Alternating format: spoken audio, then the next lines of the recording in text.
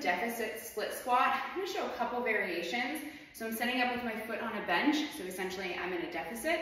I'm gonna show just the deficit split squat with rotation, and then I'm gonna up level it to kind of come up, add a little balance component.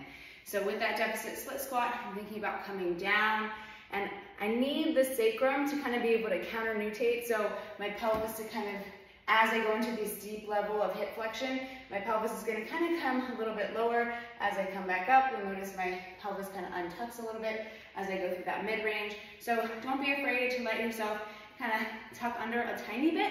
Don't want to overdo it and round through the chest, but you might find that that naturally happens in your hips. So coming down into this deficit split squat, I'm going to add that rotation element. You can just use one hand and reach, or we're going to kind of do a bow and arrow type thing, and then come back up. So I'm rotating over this leg, and then coming back up. So I'm a little bit of that hip shift into that side, and then come back up. To add the balance component, I'm gonna rotate over, making sure I don't go too far and flare my ribs. And then as I come up, I'm gonna think about opening up to the other side. My head is chopped off. so I'm coming down, rotate over, push through the foot, come up, and kind of open up this hip. Okay? Getting that rotation and movement through the rib cage, down to my deficit split squat, and then I come up into the rotation component. And so I'm kind of opening my hip, so it's a little bit more external rotation. Feel this glute working.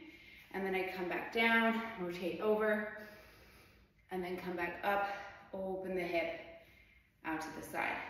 If that is too much from a balance component, you can find something to hold on to as you kind of come up and open up.